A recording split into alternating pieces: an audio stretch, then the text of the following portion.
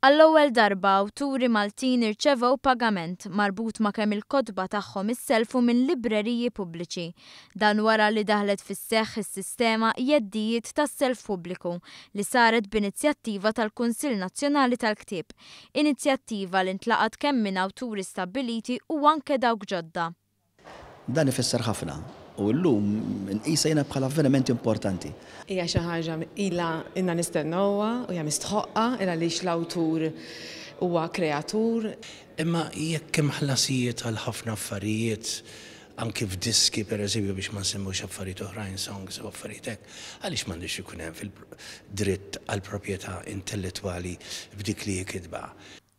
Kull self iħalli ħlas ta' 37 ċenteżmu tal-ewro u għal kull tliet xhur se jkun hemm allokati 5,000 ewro x'jitqassmu.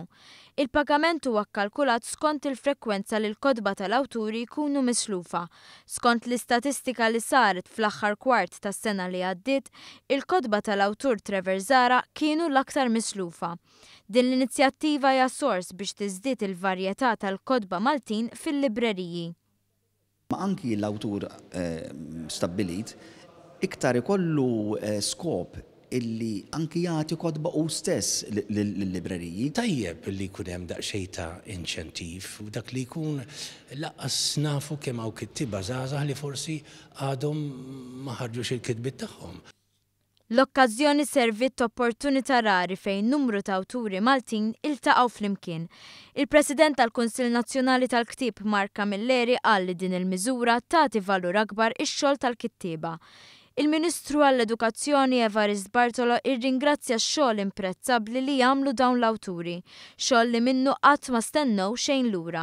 Il-Ministru qal li l-kitbiet li saru u li għad iridu jsiru huma kruċjali għall-identità u l-iżvilupp ta' pajjiżna. Irrimarka kif waħda mill-miżuri mnedija fil-baġit hija l-għajnuna lill-pubblikaturi, dan bil-ħsieb li l-industrija lokali tal-ktieb tingħata iżjed importanza.